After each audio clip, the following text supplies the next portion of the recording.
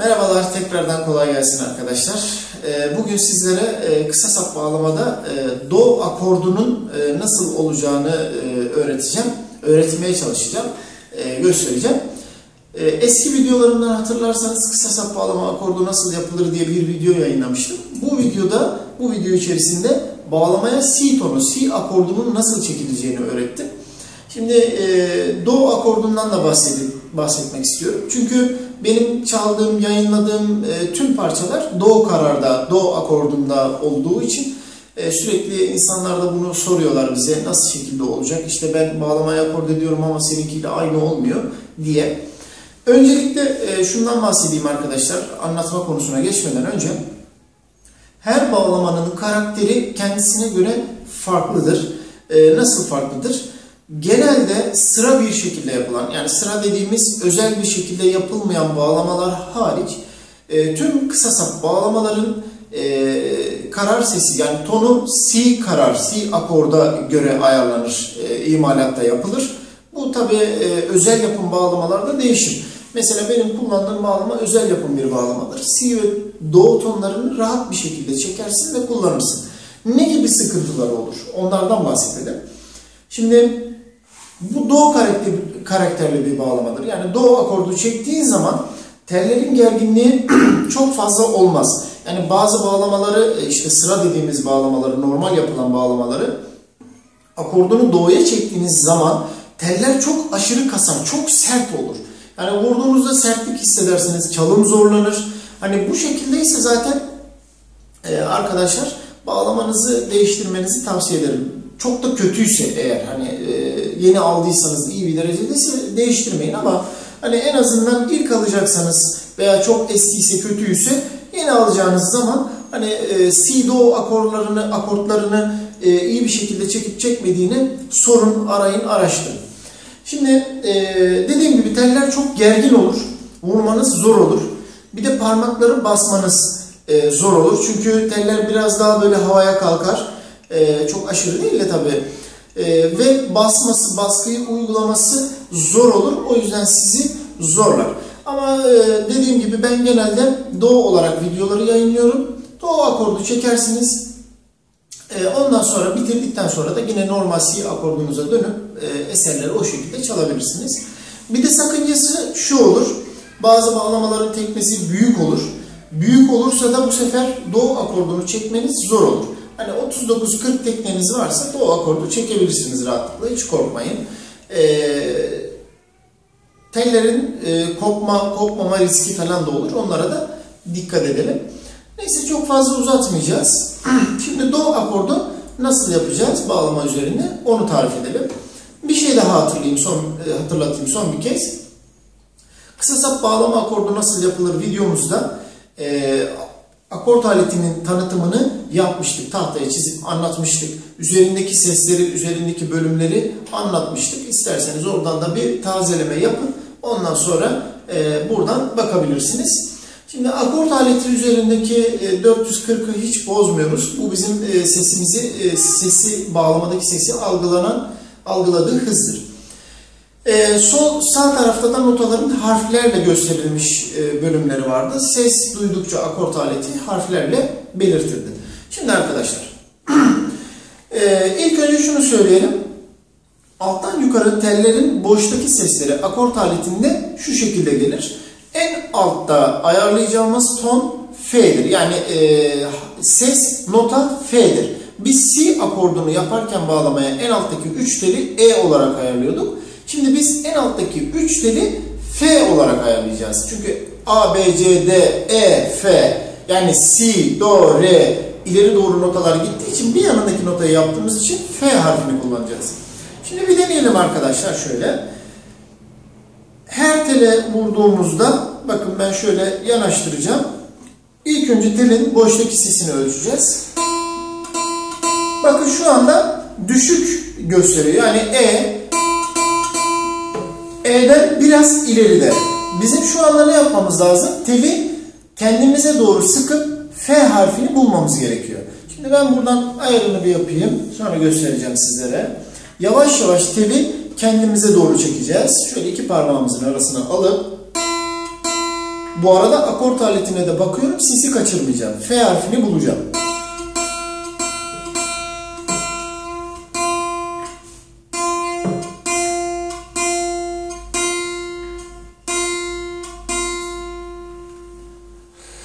Arkadaşlar. Alt tele boş vurduğumuzda şu an çıkan harf F ve ortadaki ışık sadece tek yeşil yanacak. Bu şekilde. Şimdi arkadaşlar ikinci telimi de ben buna göre ayarlayacağım. Ama şunu demiştik bir önceki videoda akort aletinden yardım alacağız ama net birebir ölçmez. İkisine bir vurup da şöyle ikisine bir alttaki yaptığım tele vurup bir yandan da akort aletini takip ederek gideceğim.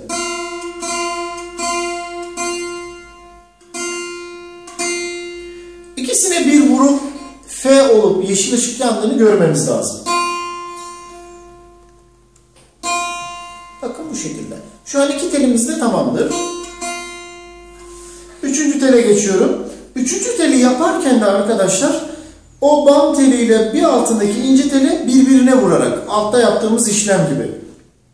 İkisine bir vurarak.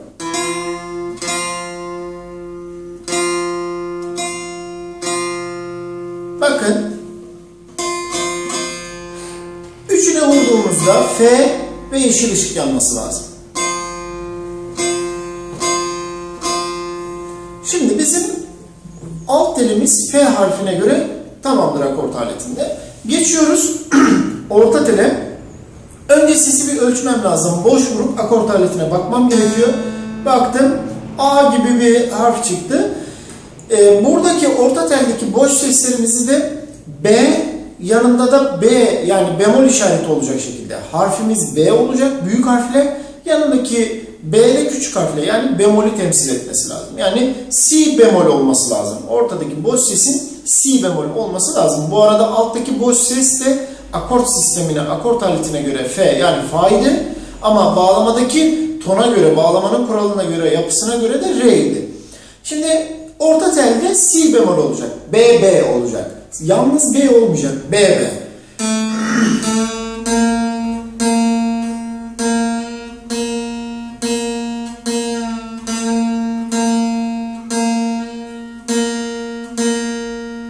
Şöyle yakınlaştırayım arkadaşlar. Bakın iyice. Büyük harfle B var. Yanında da küçük harfle B var. Ve yeşil ışığın yanması gerekiyor. Normal B yaparsanız sıkıntı yaşarsınız. Akortunuz olmamış demektir. Ee, şimdi arkadaşlar ikinci teli de yine birbirine vurarak dinleyerek devam ediyorum.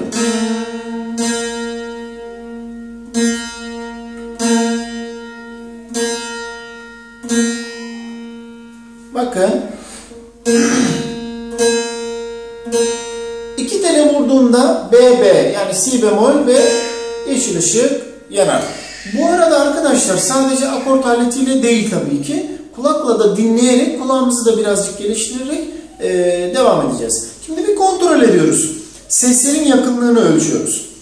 Alt telde 7. perde sole basacağım şöyle. Orta telin boş sesi de sol olduğu için iki sesi birbirine kaydıracağım. Şu şekilde. Buradaki amacım akort aletini kullanmadan kulak yardımıyla sesler yaklaşmış mı birbirine tam mı e, bir ölçeceğim kulağımla sesleri. Ufak bir kaçak var ama şimdilik yapalım sonrasında düzelteceğiz. Bakın hemen hemen güzel doğru geliyor sesler. İki tele birden vuralım orta teli. Hemen hemen iyi. Daha da emin olamazsak karar sesi şöyle kapatırız. Yaptığımız akordunu yaptığımız tellere şu şekilde vururuz. Yani bu sizin e, bağlamayı çalabilmek için hemen hemen ideal bir akordur. Akorttur. Şimdi devam edelim. Ben ince ayarını sonradan yapacağım. Üst telimizin de C harfi yani do notası olması lazım. Önce bir sese bakıyorum. B demiş.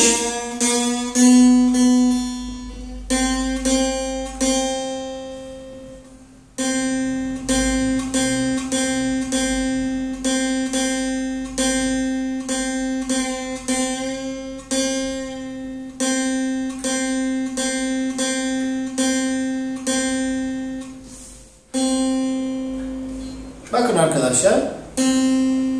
Şu anda C ve yeşil ışık yanmış oldu. Yani üst telimizi de do'ya ayarlamış olduk. Diğer teli de birbirine vurup akort aletinden bakarak ayarlıyorum.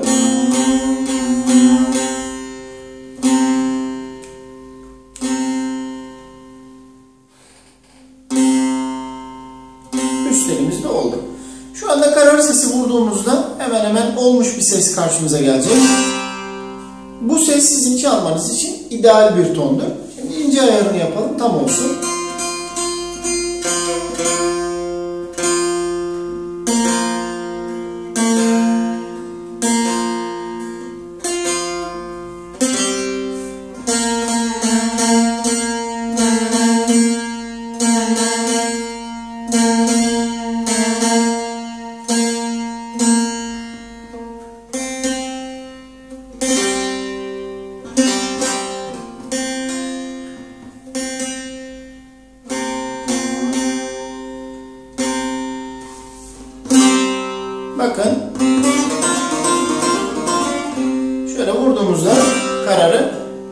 Akordumuz olmuş olacak. Kısa sap bağlamada do akordunun yapılış şekli de bu şekildedir arkadaşlar.